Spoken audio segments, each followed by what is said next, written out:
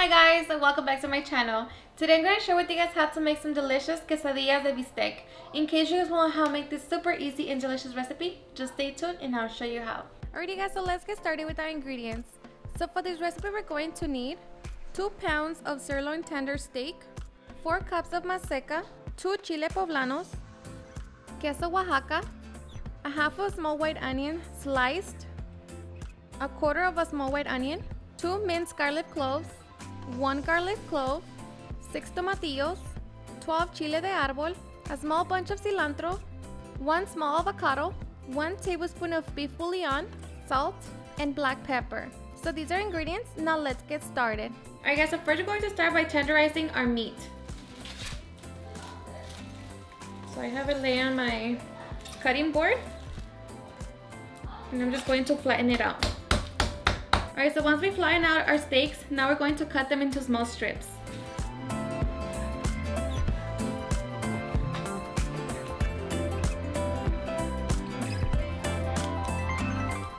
Once we have our steak all nicely cut into small strips, now we're going to season it with our black pepper. So make sure that you add a good amount. Alrighty, beef bouillon. And a little bit of salt. Now just season your whole meat. Alright, so once we have our steak all nice and seasoned, we're going to set it to the side and now we're going to roast our chile poblano. Alright, so we're going to roast our two chile poblanos. And at the same time, we're going to boil our tomatillos. And chile de árbol. Cover them with water. Now we're just going to bring them to a boil.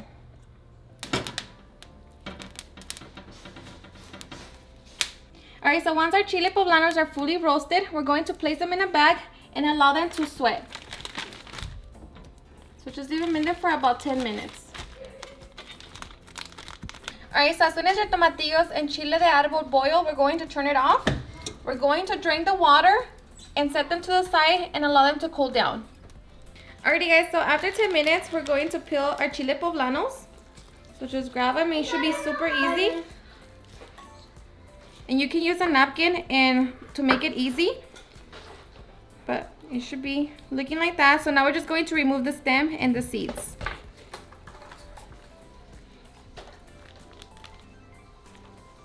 Just remove the seeds. And know, do the same to the other chile. Alright, so now we're just going to cut our chile poblanos into small strips.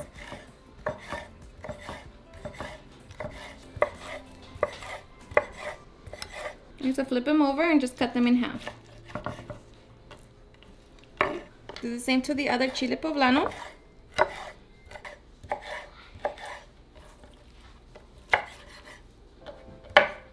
Alright, so once we have that, now we are ready to begin cooking. So before we cook our meat, we're going to make our salsa. So in a blender, we're going to add our tomatillos and chile de árbol, along with one piece of garlic clove and salt. So now we're going to blend it all together until we have a smooth salsa. Alright, so once we have our salsa, we're going to transfer into our bowl. Okay, so we're going to transfer our salsa in our bowl. And to that we're going to add our quarter of an onion and chopped cilantro. So now just mix it. And we're also going to throw in our avocado.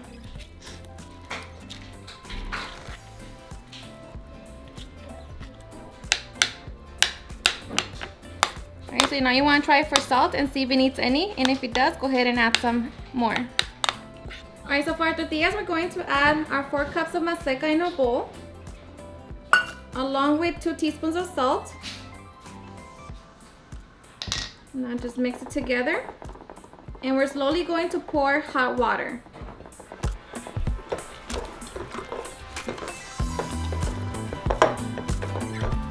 So just keep adding water until your masa is nice incorporated with the water. Alright, so once our masa is nice and soft, we're going to knead for five minutes. So I added about two cups and a quarter of hot water. So just make sure that your masa is nice and soft. And when you roll it, you press down, it doesn't stick to your fingers. And right now our masa still needs some more kneading as you can see. So just keep kneading.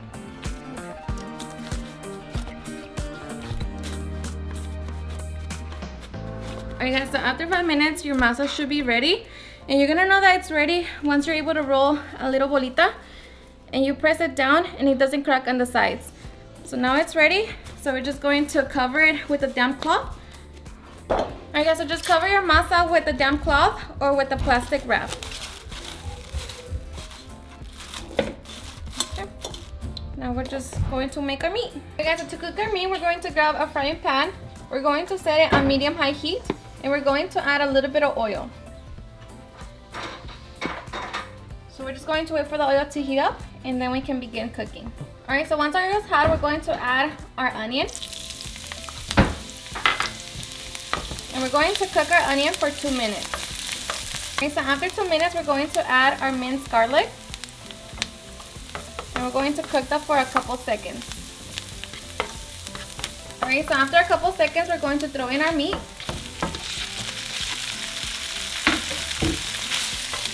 And we're just going to cook our meat. Alright, so once our meat has fully browned, we're going to throw in our chile poblano.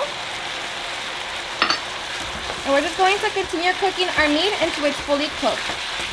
Alright guys, so after a couple minutes, your meat should be fully cooked, so just make sure you check it. So at this point, we're going to turn it off. And we're going to add chopped cilantro.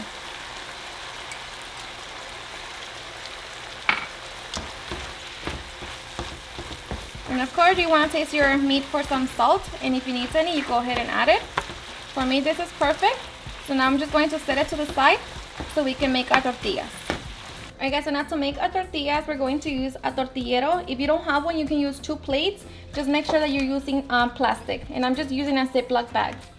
So I'm just going to grab a small ball of dough, place it off the center, grab your other piece of plastic, press it down, and we're going to press down.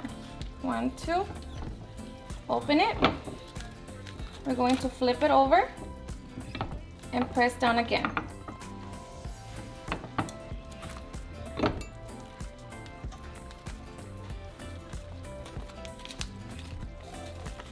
Alright, so once you have your tortilla, pull the plastic off, place it on your comal, make sure that you have it set on medium heat and your comal is hot. So we're just going to cook it for a couple seconds and then we're going to flip it over. Alright, so after 40 seconds, we're going to flip it over and let the side cook for another 40 seconds. Okay, so after 40 seconds, we're going to flip it over, press the center, and we're just going to wait for our tortilla to fluff. Alright, so once the tortilla fluffs, it's ready. So now we're going to transfer into a little basket and we're just going to repeat the same process until we're done making all of our tortillas. Okay, so once we're done making all of our tortillas, they're all nice and soft. Now we are ready to make our quesadillas.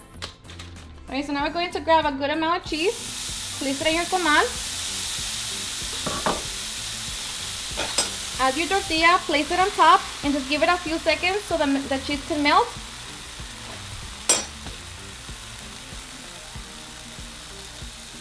Alrighty, so after a few seconds, we're going to grab the cheese and the tortilla. And now we're going to add our meat.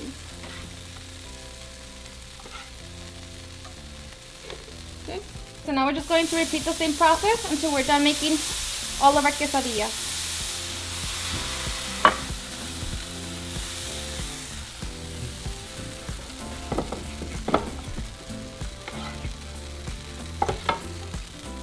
Alright guys, so once we're ready to serve, we're just going to grab our delicious salsa. Alrighty, just add it inside our quesadillas.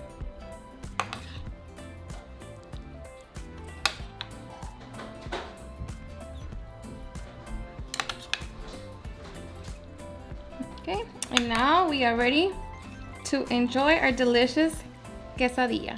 Alrighty guys, and now for the best part, the taste test. I am so ready.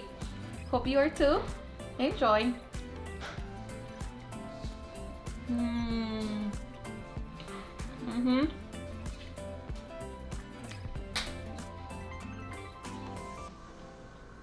Seriously, super delicious.